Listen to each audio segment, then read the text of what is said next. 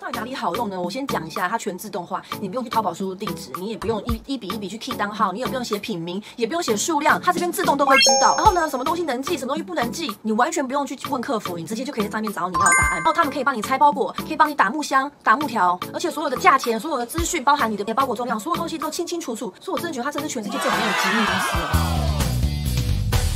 Hello，大家好，欢迎来到品味少女的频道，我是艾达。今天这一集根本就是来造福人群的，因为你知道吗？我觉得我发现了一个最好用的集运公司。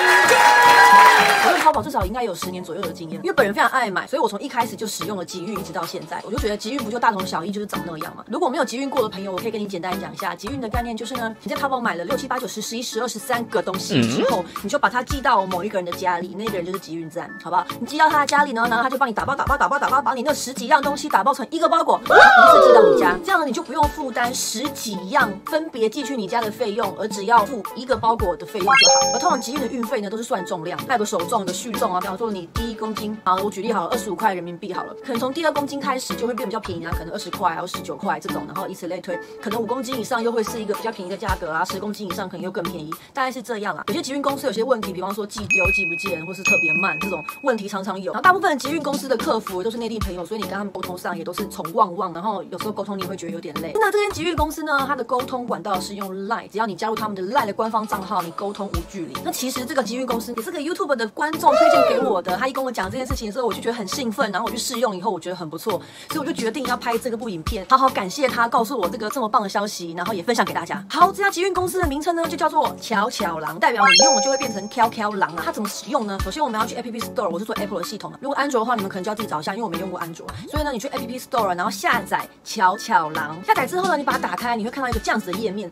你不要担心，你没有买东西，所以那个也不是你的东西，那个只是范例。所以不管你是按带入库、已入库，或者是带出货、已出货那个四个地方，都会是范例。所以请你不要紧张，那不是你买的东西哦。好，当然首先第一件事就是我们要设账号密码啦，它很方便，它可以用脸书登录，也可以用 Apple 账号登录，就看大家个人的习惯喽。好，登录之后当然会有一些安全检测啦，为了证明你是使用者本人，然后所以还要绑定手机号，所以你就必须要输入你的手机号码，把收到的验证码输入进去，你就可以完成手机的绑定。好，绑定之后呢，它会继续回到首页啦，进到首页呢。第一件事就是，我们必须要把你买东西的地址设定到他们家嘛，对不对？必须把它设定到飘飘狼他们家嘛，对不对？所以呢，飘飘狼他们家的地址在哪里呢？我们先按右上角的仓库地址，点进去之后，你就会发现要叫你写个昵称，这个昵称就写自己的名字吧，你就等于是他寄东西给你你的收件人的姓名，然后记得这个名字你输入进去之后是不能再做更改的喽。好，你进去之后呢，马上就出现两个地址，这也是我觉得飘飘狼非常厉害的一个功能，就是呢，你不用再把地址复制啊，然后贴到你的淘宝去啊，然后你也不用再一个个输入啊，什么电话啊，那真的很麻烦。尤其我之前用集运公司，可能普货、特货、海运什么，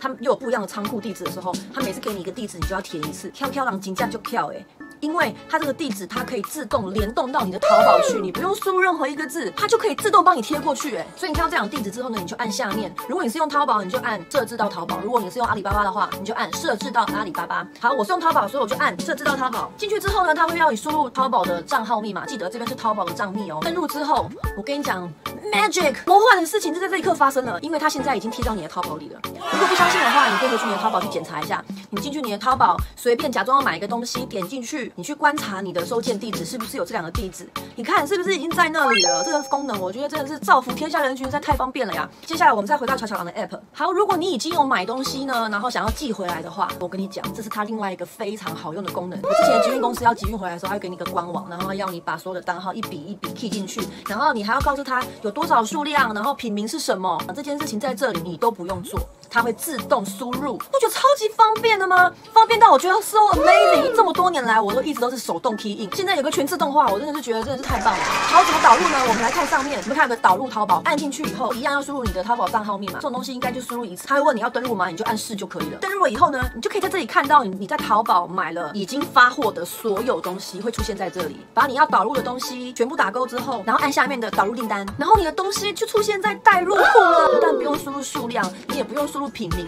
它。上面全部都会有导入之后呢，你看看，你看看，它是不是已经到代入库这里了？所以呢，一旦他收到东西，就会自动转到已入库那里，所以你随时可以去查看他收到了你的包裹了没有。好，接下来你看他收到东西了，这个时候你就可以打包回来啦。而且你看已入库这边，它不但平民价钱数量不用输入之外，它所有的重量包含照片都在这里清清楚楚，让你完全不用担心。所以你要集运回来的话，你就把这些东西通勾选之后，直接按下面的集货回台。如果你是第一次使用，那你就必须要写下你的个人资料，比方他会叫你写你的姓名、地址、电话啦这种基本的资料。然后它可以宅配寄到你家，也可以寄到便利商店哦。然后接下来呢，他会让你选择一些你平常习惯用的物流公司，或是用什么样的方式你比较喜欢。他们家基本上有分空运跟海快，会比较推荐用海快，因为海快是他们家的强项。而且我发现它海快的速度其实也不输空运，顶多晚个一天或两天。然后从大陆寄东西回来的朋友们，你们应该都知道要去下载易立伟 EasyWay 的 APP，然后去上面登记你的资料吧。所以这边呢，一样也要填上你在 EasyWay 登记的身份证号、姓名跟电话，这样你才可以顺利收到你的包裹，因为这样台湾海关才会放行。好，回到首页之后，你再把你要打包的所有东西点选它，它下面已经会出出现你的总重量了，然后你就按集货回台，把它们通通寄回来。而且到这里的时候，我其实蛮惊讶的，频繁进口税是由他们吸收，哎，这个东西你就不用担心了，因为巧巧狼会一并帮你吸收掉。好，接下来页面选单呢，你可以选择你要海快还是空运，因为两个我都试了，我现在示范的是空运，而且最方便的是它上面都有详细的价格，还有你能收到的日期。不过当然集运公司的日期你还是要保守加个一两天上去啦，尤其是最近疫情啊，海关清关那边特别严格，然后所以时效一定会 delay。像我这个打包的东西啊，它其实就 delay 了两天，上面是显示五月二十六号到，其实我大概二十八号我才收到这一批商品。接下来你就顺着一直按按按，你就会看到这次你要集运回来的运费价格，首重多少钱，续重多少钱，它也写得很清楚在上面。然后呢，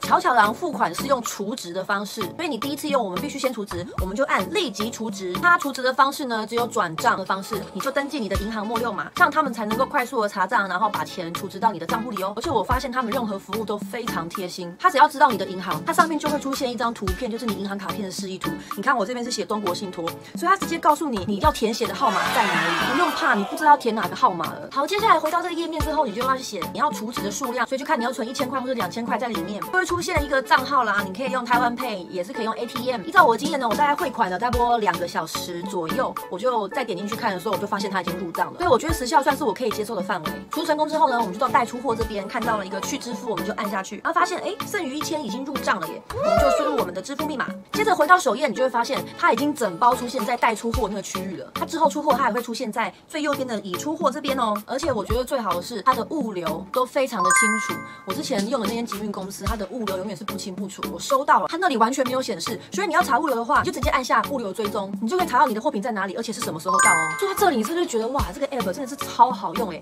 已经省去很多麻烦，而且根本是秀抖秀抖人都会用。就算你都不会买淘宝，都不会集运，我觉得这个都非常好上手啊。告诉你，它还有一些其他更棒的功能。有些东西你不知道它是不是特货啊，不知道能不能寄啊，它运费多少怎么办？又或者是我想买家具啊，我的卖家不帮我打木箱怎么办？我跟你讲，在巧巧狼这个 app 上面这件事情，你通通不用担心。不知道这些东西能不能寄的话，你问他就对了。我们直接到他的首页，然后按下能寄吗？按进去以后，你就把你要寄回来的东西的品名你就写上去，写上去之后，它就会出现一堆这种商品，然后你随便选一个，它就会告诉你说这个空运是可以的吗？或者是海运是可以的吗？因为有些可能有关食物的呀，或者是粉末或者是液体的东西，可能会比较敏感一点。如果你不确定这东西能不能寄的话，你就可以在这边得到答案。再来还有一个是尺寸的问题，如果你是超级大型的家具，你在这边也是可以问他的喽。所以你就把包裹的长宽高跟它的重量输入进去，他就会告诉你这个东西可以走什么，或是有什么样的方式去寄它。如果你想要先看看你这次寄东西回来大概会花多少运费的话，你也可以在他们的 app 事先预算。我们回到首页，点进运费这个选项，它有个运费试算的功能，长宽高、包裹重量一并输进去，而且你们看到它有个计算打木架跟打木箱的费用，所以他们可以帮你打木架跟打木箱，你就可以看到如果空运多少钱，海运多少钱，海快多少钱，然后再往下你就可以看到打木架跟打木箱的费用各是多少钱，所有多出来的费用或是可能隐藏性的费用，它也都写的很详细在里面，所以你不用担心会有一些你不知道的费用突然跑出来，这个也是非常非常好用的功能。